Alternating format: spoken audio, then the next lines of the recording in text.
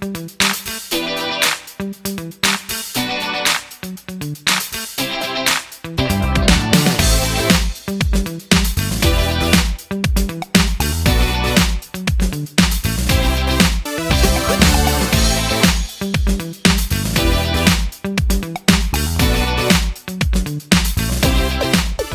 oleh-oleh yang ada ciri khasnya nih banyak celengan-celengan ayam jago celengan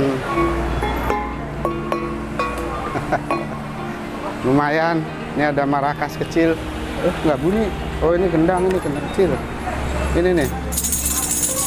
Lumayan buat ngamen. Kalau anda mau ngamen bisa. Nah ini ada mainan tradisional zaman dulu ini. Apa sih namanya? Gasing gasing dari bambu. Ini sama ini. Kecek-kecek kalau mau ngamen di lampu merah lumayan. Ini apa nih? Oh iya ini ini mainan zaman saya waktu SD dulu nih.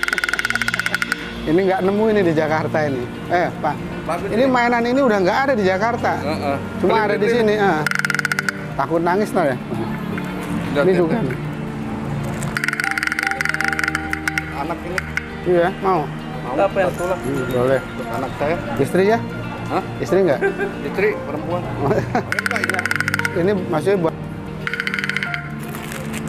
ini apa ya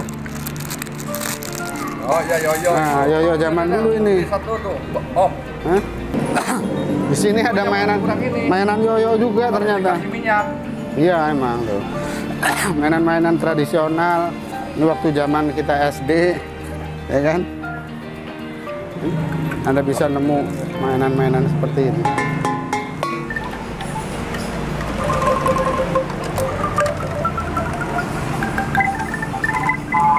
Oh ini nadanya diatonik do re mi fa sol la si do. Nah. Oh ini juga ada kolintangnya nih.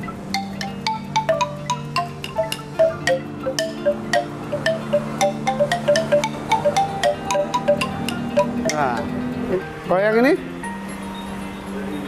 Yang ini berapa bos? Bro, ini 125. Lucu ya?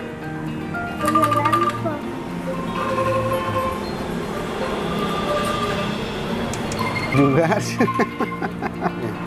Kucing lucu.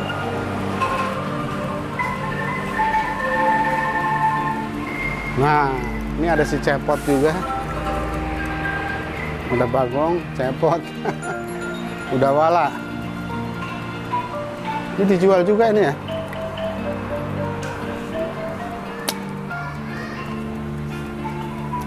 Wah, ini ini showroomnya ini. Mantap ini. Mahal. Hmm? Kita itu harusnya putri dalam bisa bikin begini nih. Ini nggak sulit kok. Ini dari tanah liat. Ini Bang Jono pasti bisa bikin gini-gini. Ini berapa nih harganya nih? 175. Waduh, mahal padahal ini barangnya kecil. Tapi nilai seninya tinggi jadi mahal. Dah gini aja. Oh iya ini ada sepeda-sepeda. Jogja ya? Ah,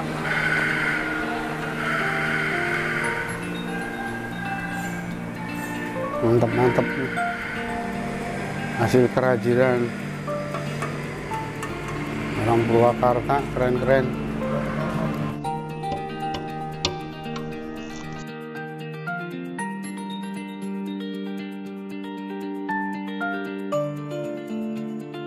Oh, Kalau itu yang dari kayu yang bebek-bebekan tuh berapa? Nah, ini kan tempat buah nih. Ini dari apa nih? Nah, berapa ini? 300. Waduh, mahal banget ini. Eh, eh, ini dari kayu, kayu mangga kan di putri dalam banyak. Lucu banget. Dah, udah beli yang buat garuk. 25. suling. Suling, suka keliling. Nah, ini ada nih kayu.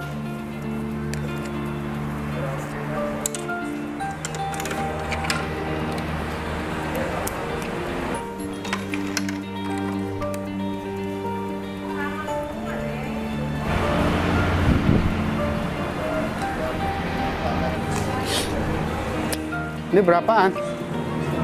Eh, coba, punggung enak nggak? Harusnya telapak kaki sih. Bikin aja.